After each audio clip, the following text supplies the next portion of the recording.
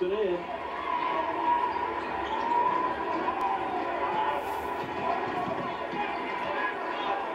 It's a seven-point lead for the number four Pitt Panthers playing here on the home court where they are official to 11 0.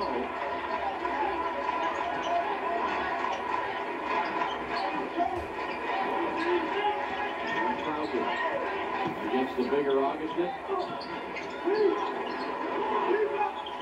Ten on the shot clock. Follows it to the lane. Pretty good. Quickness, his ability to slash, so creates many opportunities for himself.